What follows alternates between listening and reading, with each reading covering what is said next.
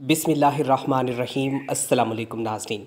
नासिन आज की इस वीडियो में हम बात करेंगे बेनसिर इनकम सपोर्ट प्रोग्राम में ऐसी ख़वातीन के लिए जो अब पक्की पक्की इसमें आहल हो जाएँगी। और उनको तीन साल तक मसलसल यहाँ पर इमदाद मिलेगी। इसके बाद ना उनको सर्वे करवाने की ज़रूरत होगी और ना ही अप्लाई करने की ज़रूरत होगी। सिर्फ़ आपने जो आज की इस वीडियो में मैं आप लोगों को डिटेल बताने जा रहा हूँ, ये आपने सुन लेनी है और इन पर अमल करना है। उसके बाद आप लोग तीन साल के लिए आहल होंगे और आप लोगों को बेनजिर इनकम सपोर्ट प्रोग्राम से तमाम जो किस्से हैं वो भी मिलेगी, बच्चों को वजीफ़ा मिलेगा। और इसके साथ नशो नमा की इजाफ़ी इमदाद मिलेगी और साथ में आप लोगों को सोलर प्लेट वाला जो प्रोग्राम है, उसमें भी शामिल किया जाएगा। निगेबान का प्रोग्राम आता है तो उसमें भी आहल किया जाएगा। तो इसलिए आज की वीडियो आप लोगों के लिए इम्पोर्टेंट है और वो डिटेल मैं आपको दूँगा जो इस वक्त आप लोगों के लिए बेहद ज़रूरी है। कौन से ऐसे ख़ानदान हैं जो इस बार आहल होंगे और उनको तीन साल तक मसलसल इमदाद दी जाएगी? और कौन से ऐसे ख़ानदान हैं, ऐसे ख़वातीन हैं जिनको अब इस प्रोग्राम से निकाल दिया जाएगा और उसके बाद वो दो साल तक इस प्रोग्राम का हिस्सा नहीं होंगे, फिर उनको यहाँ पर इमदाद नहीं मिल सकेगी। तो यहाँ पर सबसे पहले हम बात करते हैं पीएमटी की। अगर आपने पीएमटी को मद्देनज़र रखा है तो आप लोगों को सबसे बड़ा फ़ायदा होगा और आप बेनज़र इनकम सपोर्ट प्रोग्राम के रेगुलर बेनिफिशरी भी बनेंगे। पीएमटी क्या है? PMT Benazir income support programme का गुर्बत मापने का एक पैमाना है, जिसके तहत हुकूमत की तरफ़ से आप लोगों की गुर्बत का अंदाज़ा लगाया जाता है कि आप लोगों के हालात इस वक्त कैसे हैं। और उसके बाद फिर आप लोगों का गुर्बत का जो स्कोर है, वो मुतन किया जाता है। जब आप लोगों का गुर्बत का स्कोर सेट हो जाता है तो उसको पॉइंट्स दे दिए जाते हैं और ये नंबरिंग एक से लेकर सौ तक होती है। अगर आपका गुर्बत का स्कोर ट्वेंटी टू है, बाईस है तो आप लोगों के फिफ्टी परसेंट चांस है कि आप लोग इसमें आहल होंगे और आप लोगों को यहाँ पर पूरे साल इमदाद मिलेंगी। लेकिन अगर आपका ग़ुरबत का स्कोर तीस से ज़्यादा है तो फिर आप लोगों के लिए मसाइल होंगे। फिर आप लोगों को इस प्रोग्राम का हिस्सा नहीं बनाया जाएगा।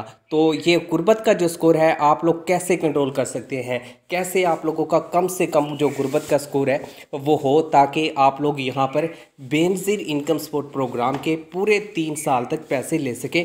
तो ये वाली जो डिटेल है, ये मैंने आपको यहाँ पर प्रोवाइड करनी है। और दूसरी चीज़ ये है कि हर घर के अखराज होते हैं। आमदन भी होती है और अखराज भी होते हैं। और हुकूमत भी ये चीज़ देखती है कि ये जो फैमिली है इसकी आमदन कितनी है और इसके अखराज कितने हैं? जितने ये कमा रहे हैं, उससे ज़्यादा खर्च करते हैं या इससे कम खर्च करते हैं? ये भी देखा जाता है कि आपका जो बिजली का बिल है, वो कितना आ रहा है। बहुत सारी खातन को ये बात मालूम होगी, जब भी आप बेनज़ीर इनकम सपोर्ट प्रोग्राम के दफ्तर में रजिस्ट्रेशन के लिए जाते हैं, या फिर आप लोग सर्वे के लिए जाते हैं, या अपने प्रोग्राम पे अप्लाई करने के लिए वहाँ पर जाना है तो आपको वहाँ पर कहा जाता है कि आप बिजली का बिल साथ लेकर आएँ। और जो बिजली का बिल है, उसको देखा जाता है कि आपको यहाँ पर कितने अखराज बर्दाश्त करने पड़ रहे हैं, कितना आपका यहाँ पर बिल आ रहा है। और आप टैक्स दे रहे हैं, नहीं दे रहे सारी चीज़ यहाँ पर जो है कैलकुलेशन की जाती है। और उसके बाद जो गुर्बत का स्कोर है, वो इलाके पर भी इंसार करता है। बहुत सारे ऐसे इलाके हैं जो तरक्की याफ्ता इलाके हैं। और वहाँ पर जो है हुकूमत की तरफ़ से उनको वैसे काफ़ी प्रोग्राम्स होते हैं, उनमें शामिल किया जाता है, लेकिन उनको बेनज़ीर इनकम सपोर्ट प्रोग्राम में इमदाद नहीं मिलती, जो इलाके कम तरक्की याफ्ता हैं, और जो बहुत पीछे हैं, जिस तरीके से रहीम यार ख़ान पंजाब के अंदर है, बलोचिस्तान के अंदर, कराची सिंध के अंदर तो काफ़ी सारे इलाके ऐसे हैं, जिनका गुर्बत का स्कोर इलाकों के अंदर बहुत ज़्यादा कम है, और सबसे ज़्यादा इस वक्त जो लोग आहल हो रहे हैं, वो सिंध के अंदर है, यानी कि सिंध के अंदर काफ़ी हद तक गुर्बत है, जिसको कंट्रोल करने के लिए हुकूमत की तरफ़ से अच्छी कोशिश की जा रही है। और चौथी जो चीज़ है, वो ये है कि आपका जो गुर्बत का स्कोर है, वो आपके घराने के अफराद पर इंसार करता है। मिसाल के तौर पे आपके घर के अंदर पाँच अफराद हैं, चार अफराद हैं, तीन अफराद हैं, दो अफराद हैं, ये चीज़ मैटर करती है। आपकी फैमिली के अंदर कितने लोग हैं जो इकट्ठे रहते हैं और शादीशुदा हैं? अगर आप अलहदा रहते हैं, आपके ख़ानदान के अंदर अफराद कम है तो आपका गुर्बत का स्कोर ज़्यादा होगा।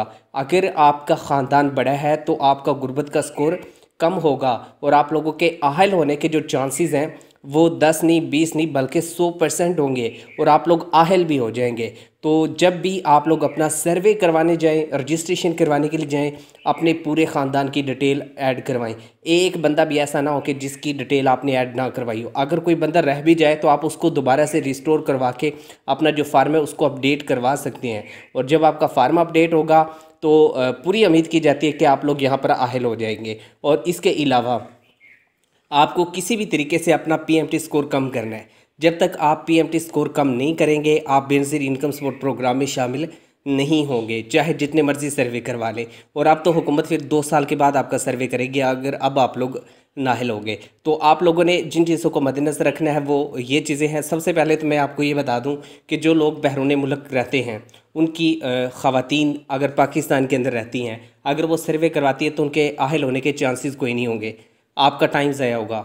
जो लोग बहरून मुल्क काम करने की घर से गए हुए हैं, वहाँ से पैसे भेजते हैं। उनके बैंक अकाउंट के अंदर पैसे आते हैं तो उनको यहाँ पर आहल नहीं किया जाता।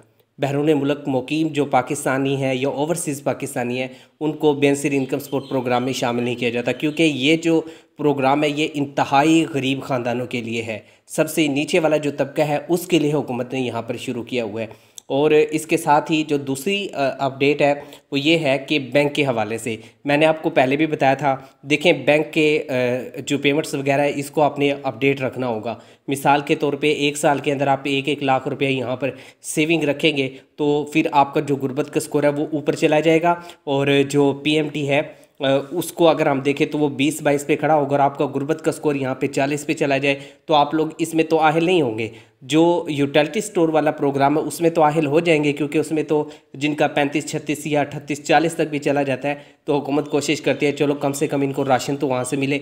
राशन वाले प्रोग्राम में तो इनको शामिल करें तो वो राशन में तो शामिल हो जाते हैं, लेकिन बेनसिर इनकम सपोर्ट प्रोग्राम में शामिल नहीं हो सकते। और एक और चीज़ यहाँ पर नोट कर लें बहरून मुल्क जो मुकीम पाकिस्तानी हैं अगर वो पाकिस्तान आ जाते हैं तो उसके बाद अगर अपना सर्वे करवाते हैं और कहते हैं कि हम यहाँ पर रहेंगे, अब बैरून मुल्क हमने नहीं जाना तो वो इसमें शामिल हो सकते हैं, उनको हुकूमत यहाँ पर आहल करेगी। इसके अलावा सरकारी जॉब रखने वाले ऐसे अफराद जिनका ग्रेड चार है, यानी कि दर्जा चारम के मुलाजमीन है, वो भी इस प्रोग्राम में अप्लाई करने का हक रखते हैं। लेकिन जिनका ग्रेड चौदह, पंद्रह, सोलह, अठारह तक है, बीस तक ग्रेड है, जिनका पे स्केल बीस तक है तो वो जो है इस प्रोग्राम में शामिल नहीं हो सकते। उनको इस प्रोग्राम का जो हिस्सा है, वो हुकूमत नहीं बनाएगी।